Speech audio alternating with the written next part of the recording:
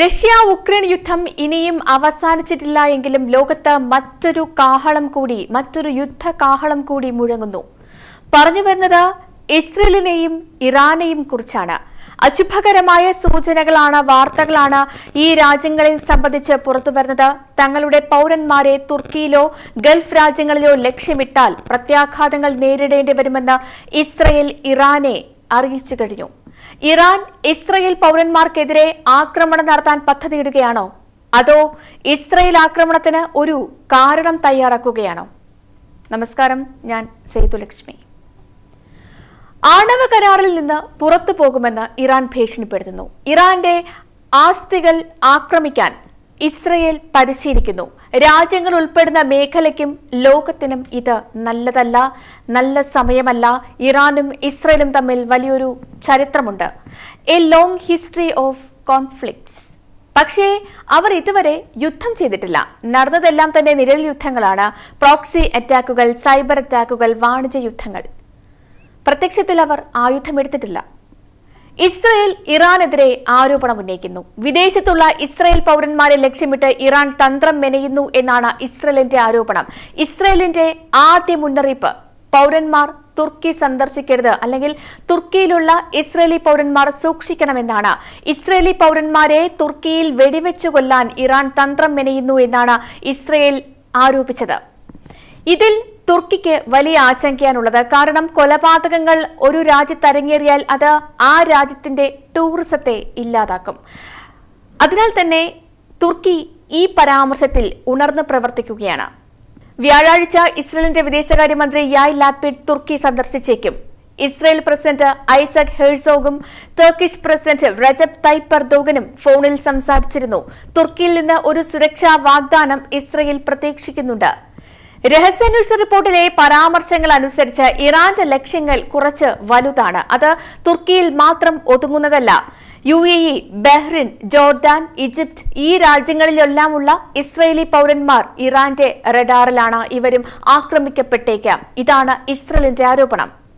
ഇക്കഴിഞ്ഞ ഞായറാഴ്ച ഇസ്രയേൽ പ്രധാനമന്ത്രി നെഫ്താലി ബെനറ്റ് ഇറാൻ ഒരു മുന്നറിയിപ്പ് നൽകിയിരുന്നു. എന്തായിരുന്നു അത്? Iran will pay if there is an attack ഇസ്രയേലിന് നേരെ ഒരു ആക്രമണമുണ്ടായാൽ ഇറാൻ വലിയ വില നൽകേണ്ടി വരുമെന്നായിരുന്നു അത്. ഇറാൻ വിദേശ രാജ്യങ്ങളിലുള്ള ഇസ്രയേലി പൗരന്മാരെ ലക്ഷ്യമിടുന്നു. എന്തിനു വേണ്ടി? ഒന്ന് ഇറാൻ ആണവ കരാർ പുനരുജ്ജീവിപ്പിക്കുക എന്നത് അമേരിക്കയ്ക്കും ഇറാനും വളരെ പ്രധാനമാണ് ഇസ്രയേലിനും അത് വളരെ പ്രധാനമാണ്. ഇക്കഴിഞ്ഞ മാർച്ചിൽ ആണവ കരാർ സംബന്ധിച്ച് വീണ്ടും ഇറാനും അമേരിക്കയും ചർച്ചകൾ ആരംഭിച്ചെങ്കിലും തുടക്കത്തിൽ തന്നെ അത് അവസാനിക്കുകയായിരുന്നു. സാഹചര്യം വന്നു ചേരുകയായിരുന്നു. ഇസ്രയേലിന് നേരെ ഉണ്ടായ സുരക്ഷാ ഭീഷണിയാണ് ഇതിൽ വില്ലനായത്. ഇസ്രയേലിന്റെ സമ്മർദ്ദമായിരിക്കാം ഒരുപക്ഷെ അമേരിക്കൻ പിന്മാറ്റത്തിന് കാരണമായതും. രണ്ട് അമേരിക്കയ്ക്ക് മാത്രമല്ല ഇസ്രയേൽ ഗൾഫ് രാഷ്ട്രങ്ങൾക്കും വ്യക്തമായ സന്ദേശമാണ് നൽകിയത്. തുർക്കി Egypt Jordan the U A E Bahrain ഈ രാജ്യങ്ങൾക്കെല്ലാം തന്നെ ഇസ്രയേലുമായുള്ള വളരെ അടുത്ത ബന്ധമുണ്ട്. ഈ സന്ദേശം വളരെ വ്യക്തമാണ്. ഇറാനെതിരെ നീങ്ങരുത്. അങ്ങനെ സംഭവിച്ചാൽ അവർ എന്തും ചെയ്യാൻ മടിക്കില്ല എന്നൊരു സന്ദേശമാണ് ഇസ്രയേൽ ഗൾഫ് രാഷ്ട്രങ്ങൾക്ക് നൽകിയിരിക്കുന്നത് അമേരിക്കയ്ക്ക് നൽകിയിരിക്കുന്നത്. ഒരുപക്ഷെ ഇത് ഇസ്രയേലിന്റെ ഒരു ഗെയിം പ്ലാനും ആയിരിക്കാം. ഗൾഫ് രാഷ്ട്രങ്ങളെ ഒന്നടങ്കം ഇറാനെതിരാക്കാനുള്ള തന്ത്രം. ഇതിന് പിന്നാലെ ഇസ്രയേൽ പ്രതിരോധ മന്ത്രി ഒരു സ്ഥിരീകരണം നടത്തി. West Asian defence alliance പുനർജനിച്ചിരിക്കുന്നുവെന്ന് meet Middle East air defence. എന്താണത്? ഇറാനിൽ നിന്നുള്ള ഏതുതരം ഭീഷണികളെയും നേരിടാൻ ഇസ്രയേലും ഗൾഫ് രാഷ്ട്രങ്ങളും ചേർന്ന് രൂപീകരിച്ചതാണ് ഈ മീറ്റ്. റോക്കറ്റ് മിസൈലുകൾ ക്രൂസ് മിസൈലുകൾ ഇവയെയെല്ലാം മീറ്റ് ശക്തമായി പ്രതിരോധിക്കും. ഇസ്രയേൽ പ്രതിരോധ മന്ത്രിയുടെ ഈ പ്രഖ്യാപനങ്ങൾ ചെറുതല്ല. ഇസ്രയേലും അമേരിക്കയും ചേർന്ന് പടിഞ്ഞാറൻ ഏഷ്യയിൽ പ്രതിരോധ സംവിധാനം നിർമ്മിക്കുകയാണ്. ഇസ്രയേൽ മാത്രമല്ല അറബ് രാജ്യങ്ങളും ഈ സംവിധാനം ഉപയോഗിക്കും. ഇസ്രയേലും ഈ സംവിധാനം ഉപയോഗിക്കുന്ന ഗൾഫ് രാഷ്ട്രങ്ങളുടെ പേര് വെളിപ്പെടുത്താൻ തയ്യാറായില്ല എങ്കിലും ഇറാനിയൻ ഭീഷണികളെ നേരിടുമെന്ന് പറയുകയുണ്ടായി. യുദ്ധചേരികൾ ഇപ്പോൾ വളരെ വ്യക്തമാണ്. ഒരു വശത്ത് ഇറാനും മറ്റൊരു വശത്ത് ഇസ്രയേലും ഗൾഫ് രാഷ്ട്രങ്ങളും. പക്ഷേ ഇവിടെ ഒരു തേർഡ് പോസിബിലിറ്റി കൂടിയുണ്ട്. പോസിബിലിറ്റി മാത്രമാണ്. ഇറാന്റെ പേരിൽ ഒരു പക്ഷേ ഇസ്രയേൽ തങ്ങളുടെ പൗരന്മാരെ തെറ്റിദ്ധരിപ്പിക്കുകയാണെങ്കിലോ? ഇറാനെതിരെ ശബ്ദമുയർത്താൻ അവരെ പ്രേരിപ്പിക്കുകയാണെങ്കിലോ? പോസിബിലിറ്റി മാത്രമാണ്. ഞാൻ ആദ്യം പറഞ്ഞതുപോലെ ഈ രണ്ടു രാജ്യങ്ങൾക്കും ഇറാനും ഇസ്രയേലിനും ഇടയിൽ ഒരുപാട് നിഴൽ യുദ്ധങ്ങളുടെ ചരിത്രങ്ങളുണ്ട്. പക്ഷേ മുൻപ് നടന്ന നിഴൽ യുദ്ധങ്ങൾ പോലെയല്ല ഇപ്പോഴത്തേത്. ഭീഷണികളും പ്രകോപനങ്ങളും തുടർന്നാൽ ഇതൊരു വലിയ യുദ്ധത്തിൽ കലാശിക്കും. ഇറാന്റെ ആണവ കരാർ സംബന്ധിച്ച് നിരവധി വാർത്തകളാണ് പുറത്തു വരുന്നത്. പക്ഷേ ഇതിലെ സത്യം എന്ന് പറയുന്നത് ചർച്ചകൾ സംബന്ധിച്ച് ഒരു പ്രോഗ്രസും ഉണ്ടായിട്ടില്ല എന്നതാണ്. അമേരിക്ക ഇളവുകൾ അനുവദിച്ചാൽ കരാറുമായി മുന്നോട്ട് പോകാൻ തയ്യാറാണെന്നാണ് ഇപ്പോഴും ഇറാൻ പറയുന്നത്. അവർക്ക് വേണ്ടത് രണ്ട് കാര്യങ്ങളാണ്.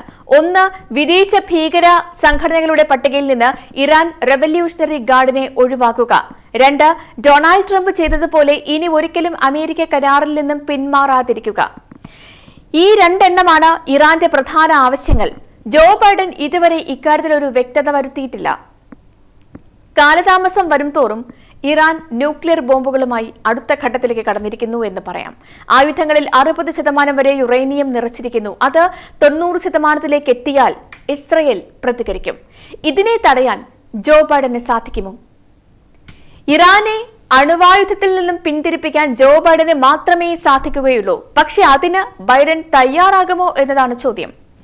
ഇറാനെ പിന്തിരിപ്പിക്കണമെങ്കിൽ ആണവ കരാറിൽ യുണൈറ്റഡ് സ്റ്റേറ്റ്സ് ഇളവുകൾ നൽകാൻ തയ്യാറാകണം. അതിന് ബൈഡൻ തയ്യാറാകില്ല എന്ന് തന്നെയാണ് നിലവിലെ വിശ്വാസം. കാരണം ഇസ്രയേലുമായുള്ള അമേരിക്കൻ ബന്ധം അത്രമേൽ ദൃഢമാണ്. ഇസ്രയേലിന് അമേരിക്ക നൽകുന്ന മിലിറ്ററി അസിസ്റ്റൻസ് വൺ ബില്യൺ ഡോളറിന്റേതാണ്. അതിനാൽ തന്നെ ഇസ്രയേലിനെ പിണക്കുന്ന ഒന്നും ബൈഡന്റെ ഭാഗത്തു നിന്നും ഉണ്ടാക്കില്ല അടുത്ത മാസം ജോ ബൈഡൻ ഇസ്രയേലും സൗദി അറേബ്യയും സന്ദർശിക്കുന്നുണ്ട്. വെസ്റ്റ് ഏഷ്യയിൽ അമേരിക്കൻ സ്വാധീനം ഉറപ്പിക്കാനുള്ള ഒരു സന്ദർശനം കൂടിയാണത്. മറ്റൊരു കാരണം കൂടിയുണ്ട്. ഇസ്രായേൽ പാർലമെന്റ് പിരിച്ചുവിട്ടിരിക്കുന്നു രണ്ടു വർഷത്തിനിടയിൽ അഞ്ചാം തിരഞ്ഞെടുപ്പിന് ഇസ്രായേൽ ഒരുങ്ങുകയാണ്. രണ്ടു വർഷത്തിനിടയിലെ അഞ്ചാം തിരഞ്ഞെടുപ്പ്. പുതിയ മുഖങ്ങൾ വരും ഇസ്രായേൽ തലപ്പത്തേക്ക്. ഇനി സംഭവിക്കുന്നത് കാത്തിരുന്നു കാണാം. നയതന്ത്രം മാറുമോ? അമേരിക്ക മെരുങ്ങുമോ എന്ന്. കൂടുതൽ വാർത്തകൾ അറിയാൻ Kerala Kaumudi news YouTube channel subscribe ചെയ്യും.